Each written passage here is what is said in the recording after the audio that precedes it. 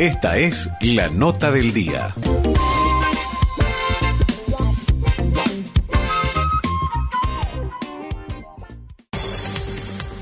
En comunicación telefónica con el director de la Departamental Calamuchita, el comisario mayor, licenciado Sergio Romera. ¿Qué tal, mayor? ¿Cómo le va? Buen día. Muy bien, muy buen día. Buen día. Queremos saber un poco de las novedades de acuerdo a las investigaciones y de los hechos eh, pasados, ¿no? En el caso, por ejemplo, eh, del accidente fatal con la detención del conductor del el otro vehículo que no resultó con lesiones importantes, ¿no? ¿Cómo se contextualiza esto? El hombre este de 66 años, de oriundo de un cativo, que conducía el S10, en primer momento fue trasladado al, hospital de, San, de Santa Rosa para una, una revisión. Eh, estuvo casi 24 horas en observación. Una vez que tuvo el alta, por disposición de la Fiscalía, quedó detenida bajo el cargo de homicidio culposo agravado. y por estos momentos sigue, sigue alojado ahí en la alcaldía de Embalse. Claro. Eh, ¿Y cómo se eh, continúa esto, digamos, cómo se procede en el caso de, la investigación? ¿Cómo se habría eh, generado el, el, accidente?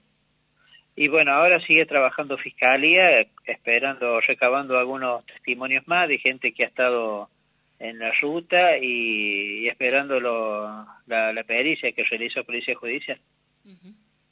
Eh, también novedades respecto de algunas de las sustracciones de vehículos y este, o robos y demás, ¿cómo se sigue avanzando?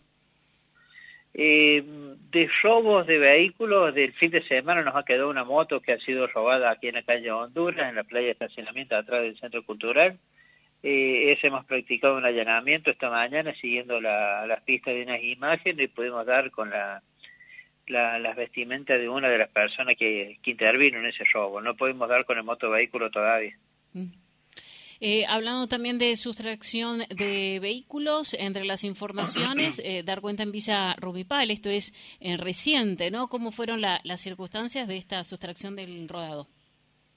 En primeras horas del día de hoy, por decir a la una de la mañana, ahí en, en la calle Comechingones, en Villa Rumipal, eh, extraen desde la desde el, desde la puerta de una vivienda en la vía pública un Volkswagen Gol eh, el cual estaba con las medidas de seguridad colocadas. Pero bueno da cuenta es el propietario de que se lo sacaron de la puerta de su vivienda.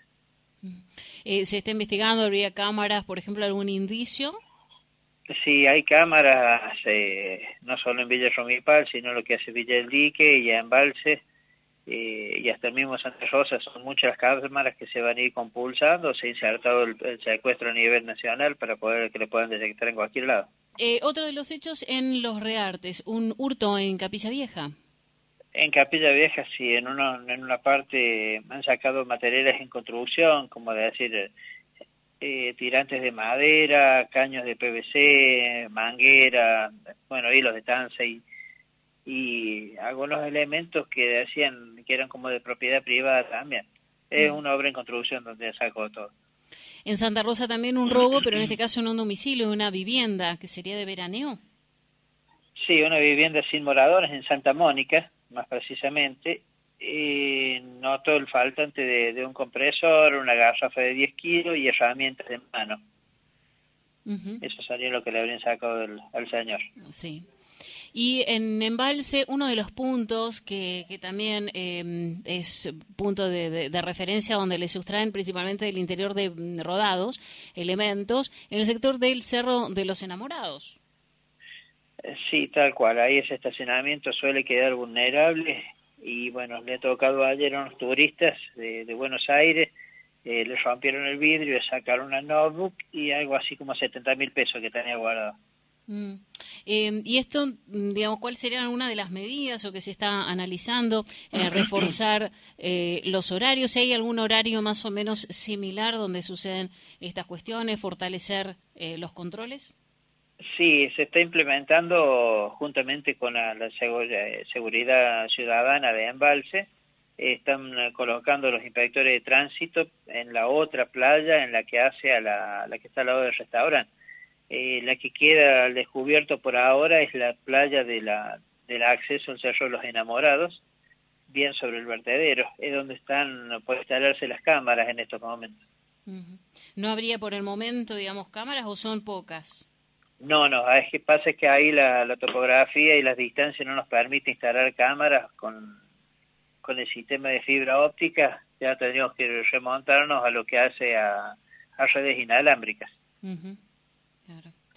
Eh, los controles eh, vehiculares continúan. En este caso pusieron el foco en Embalse y en Villa General Belgrano, eh, con una interesante cantidad de motos sustraídas o secuestradas.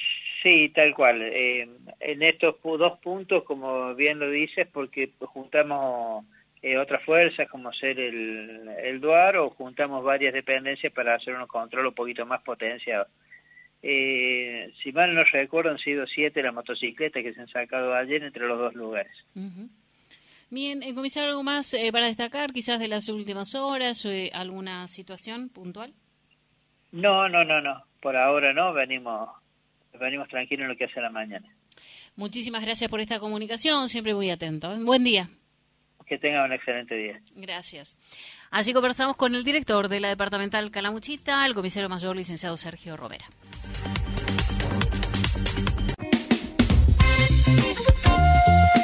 Esta fue la nota del día.